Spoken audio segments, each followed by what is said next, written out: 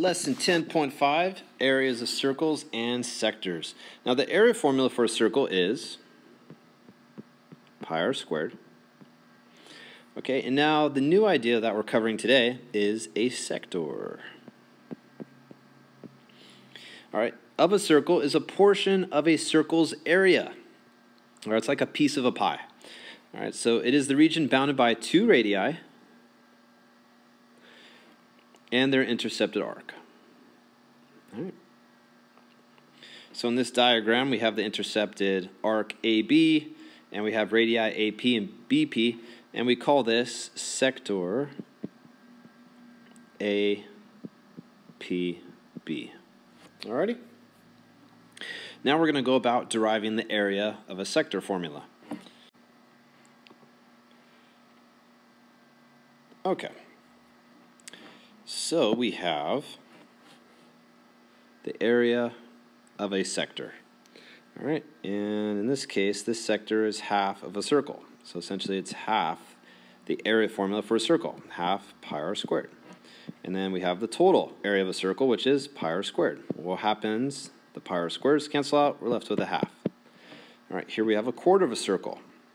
So we would take the area of a formula circle and multiply it by pi r squared, one fourth. All right, that's a quarter. And we put that over the total area, which is pi r squared. Those cancel out, we're left with one fourth. Then we have three quarters of a circle. So that's three fourths the area of a circle. Three fourths pi r squared over pi r squared. And what do we get? Three fourths. All right, so it's very similar to the previous lesson, right? Except this time we're talking about the area of a sector instead of arc length. See the pattern emerging here? All right, so here we have the measurement of a sector. Well, what's the measurement of this sector arc? That's 180. And what's the total measure going all the way around? 360. So we get 1 half. When we simplify that, here we have 90, since it's a quarter of a circle. Should have a little 90 degree angle there. All right, then we have 90 over 360, which is 1 fourth. Then here we have 3 quarters of a circle, so that's 90, 180, 270. And then over the measure of the whole circle, 360. So that gives us 3 fourths. All right, so you notice now that these values that we get are equal to each other. So that means we could set these two expressions on top equal to each other, and we have ourselves a new formula for figuring out the area of a sector. All right, so to answer the bottom question here, we just say they are equal. All right, so that leads us into the form, which we will now begin to apply. All right, example one, find the area of sector YXZ. YXZ, that's this sector here. Got to figure out this area, this piece of the pie. Okay, so we have the measurement of arc AB, which is in this case, we're working with YZ. So this arc measure is 120 degrees. So we have 120 over 360, which is the total degree measure going all the way around. And then we have the area of the sector. Well, that's what we are trying to figure out. Over the total area, which would be pi r squared. And what's r in this case? 6. All right, so let's simplify this now. This simplifies to 1 third. And then I have the area of the sector over 36 pi cross multiply, and I get 3 times a sub s is equal to 36 pi. And now I divide by 3. And the area of the sector is equal to 12 pi. In this case, meters. Done. All right, for part B, find the radius of circle E given the area of the sector DEF is 9 pi inches squared. Okay, so they already gave you the area of the sector. All right, so this arc measure here is 40 degrees, so this must be 40 degrees in here. All right, so now I need to figure out the radius. So the arc measure is 40 degrees over the total arc measure going all the way around. That's 360. And that's equal to the area of the sector, which once again they gave me, 9 pi, over pi r squared. And what's r in this case? Well, I don't know it. That's what I'm trying to figure out. Okay, well, let's simplify this here. Uh, we could simplify this to 1 ninth, and the pi's cancel out here. Okay, so be careful. Let's cross multiply now. We get r squared is equal to 9 times 9, which is 81. Take the square root of both sides. r is equal to 9. Done. All right, let's do a couple more examples to solidify our understanding of this concept. All right, find measurement of arc AB. Got to figure out what this measurement is here. Hmm.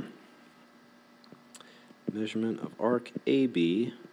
Well, what's the total measurement going all the way around? It's 360. And that's equal to, well, what's the area of this sector? That's what they give us here. That's 49 pi. Over the total area, which is pi r squared, r is 14. Okay, so now I'm gonna, let's see, what am I gonna do here? Okay, I'm going to write measurement of arc AB over 360 is equal to 49 pi over 196 pi. All right, and pi's cancel out here. And what goes into both 49 and 196? Well, 7 goes into them, but also 49 goes into both of them. Once, four times.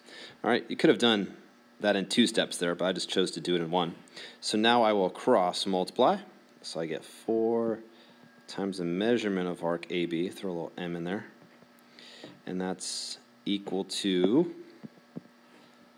360 times 1, so 360. Then I divide by 4, and measurement of arc AB is equal to 90 degrees. Done. All right, for the next problem, find the area of circle E.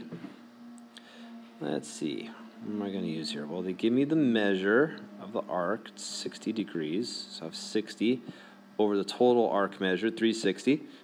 And that's equal to the area of the sector, which in this case is 24, over the total area. And that's what I'm trying to find. Okay, so what am I going to do here? I will simplify this fraction, 1 over 6. Going to cross multiply. And I get pi r squared is equal to 6 times 24, which is 144. And what should we do next? We don't have to do anything next. We figured out the area. Pi r squared is the area of a circle, right? So we're done pi r squared equals 144. We'll put a equals 144, in this case, feet squared. Done. All right, example two, find the area of the shaded region. All right, the shaded region, what do we call this? It's a sector. All right, so using the same formula that we used before, we have 72 over 360, and that's equal to the area of the sector, call it A sub S, over pi r squared, pi 10 squared. So 72 goes into 72 once, 72 goes into 360 five times. So now I get, cross multiply here, I get 5 a sub s is equal to 10 squared is 100, so 100 pi. And now I'll divide by 5, and a sub s is equal to 20 pi. All right, it's going to be units squared. Done. For the next problem, once again, I need to figure out the area of the sector. All right, so what's this arc measure here? 240. Put that over 360, and that's equal to, let's see, I'm trying to find the area of the sector over the total area, which is pi 9 squared. So I have, what do I have here? simplify this to one, not one, two thirds. Okay, I'll write this all out. Two thirds is equal to a sub s over 81 pi. All right, now I will cross multiply, and I get 3 a sub s is equal to 162 pi.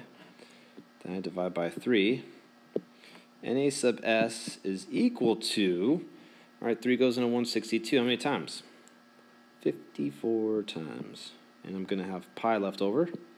So there's the area of my sector, 54 pi. In this case, inches squared. All right, so this lesson is very similar to 10.4.